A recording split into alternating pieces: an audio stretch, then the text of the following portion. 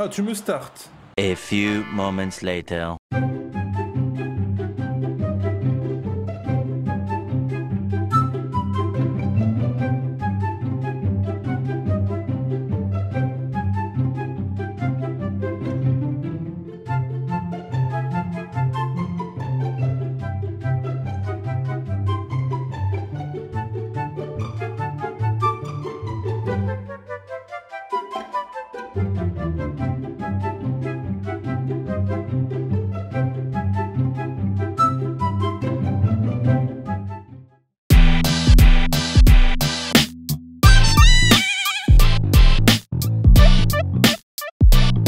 Yo tout le monde, c'est Fatboss, j'espère que vous allez bien. On se retrouve aujourd'hui pour une nouvelle vidéo. Vous l'avez vu hier, j'ai posté une vidéo qui fait beaucoup débat, qui fait beaucoup parler sur le grind de Elgin Baylor. Vous l'avez vu en introduction, j'ai eu la chance de l'obtenir dans le coffre de l'Unlimited et c'est pourquoi aujourd'hui on va voir, on va passer à la loupe Elgin Baylor pour voir si il vaut le grind. L'homme qui a perdu cette finale NBA, qui peut apparaître soit dans la roue du clutch, dans le coffre du TTO, ou encore dans le coffre de l'Unlimited. Mais pour les plus teigneux d'entre vous, pour les plus persévérants et les plus courageux d'entre vous, vous pouvez éventuellement récupérer Elgin Baylor via les objectifs qui sont disponibles dans l'agenda. Je vous invite à regarder ma vidéo d'hier, on passe en revue tous les défis qu'il y a à faire. Peut jouer poste 3 et poste 4, 1,96, 102 kg, 93 en attaque, 90 en défense.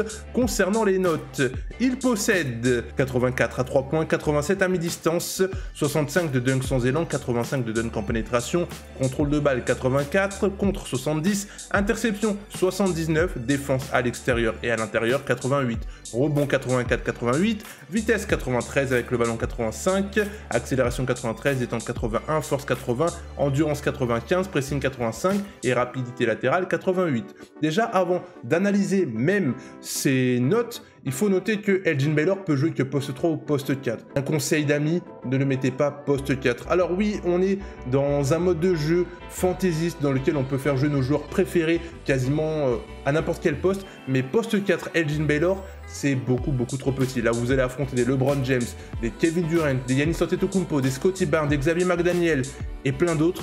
Vous allez clairement vous faire démolir. On a l'impression qu'il a des statistiques d'un 3D capable de bien défendre dur sur l'homme, mais également capable de s'en sortir avec une excellente adresse. Concernant les badges, il possède 3 badges Hall of Fame, 11 en or, 15 en argent et 4 en bronze. Il y a deux ans, les badges qui se dégageaient, c'était portée infinie, imperturbable, et tenaille. L'année dernière, c'était intercepteur, premier pas rapide. Là, on ne sait pas encore sur quel pied danser. Mais on va quand même énumérer les badges les plus importants d'Elgin Baylor. Brut, il nous dit améliore l'aptitude du joueur à bien finir au cercle, finir sur intrépide. Andy, acrobate, David versus Goliath, maîtrise du double pack, catch and shoot, spécialiste du coin, machine à tirer, sauveteur, Eto, Kane, bâton sauteur, bourreau de travail. Nous voici en freestyle, il ne possède pas toutes les hautes zones, mais toutes les hautes zones, ça ne veut rien dire cette année. Même les notes, j'ai envie de vous dire, ça ne veut rien dire. Tant que vous maîtrisez le timing de votre joueur, vous allez pouvoir green. Parce que vous le savez, on est sur un jeu cette année qui est beaucoup plus exigeant en termes de timing, j'ai marqué des shoots à 3 points avec Gobert, avec Joachim Noah, donc c'est vous dire à quel point il faut maîtriser le timing de vos joueurs. On ne connaît pas encore forcément les dribbles les plus efficaces. Attention tout de même, petite réserve concernant les dribbles, vous savez que cette année il y a la barre d'adrénaline qui vous pompe pas mal d'énergie et qui va vous immobiliser si jamais vous faites beaucoup trop de mouvements d'un coup, notamment avec les dribbles. Donc on va s'intéresser à son shoot et ayant déjà shooté, jouer avec lui, ouvrez les yeux parce que son shoot il n'est pas commode. Il est vraiment pas commode. Bien que je green, il est vraiment pas commode. C'est un shoot avec lequel il faut pas être pressé. Alors on nous dit qu'il a euh, la base de Brook Lopez et la release de Paul Millsap. Bien que là, j'ai enchaîné pas mal de shoots, vous le voyez que la release est en timing normal. Déjà que le shoot de la Marodome, je le trouvais pas incroyable. Je pense qu'on a trouvé un shoot euh, peut-être un poil plus euh, horrible que celui de la Marodome. Mais bon, il peut faire d'autres choses également. Il peut aller au tomar, bien défendre, très rapide.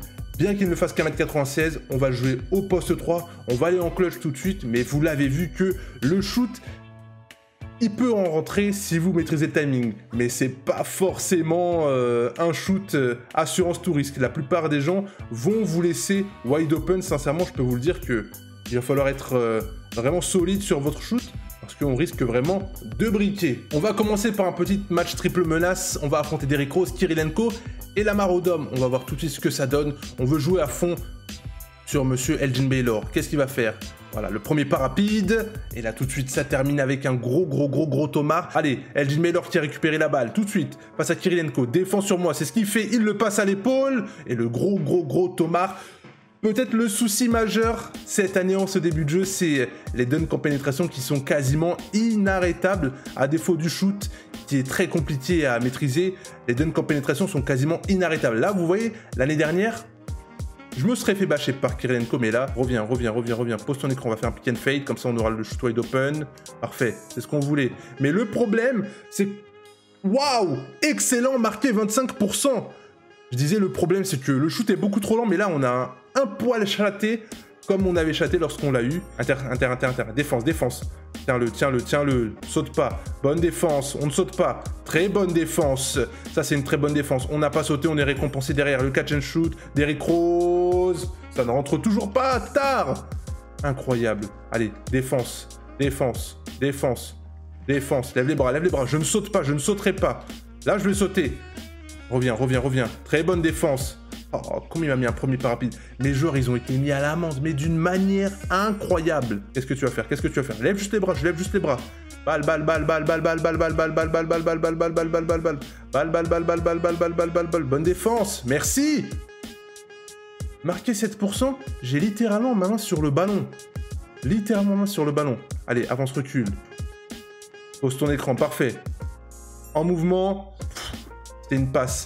C'était une passe, monsieur l'arbitre. C'était une passe. Ça rentre pas. Shoot Non, non, non, ça rentre pas.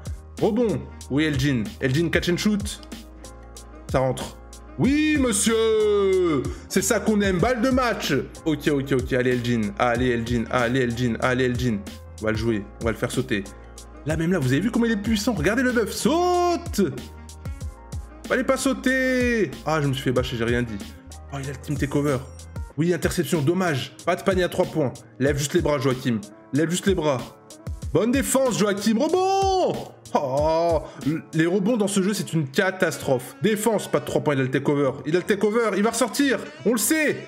On le sait qu'il veut shooter à 3 points. Jamais Mais il est fou, quoi Il est fou. Elgin Baylor. Nous aussi, on a le takeover.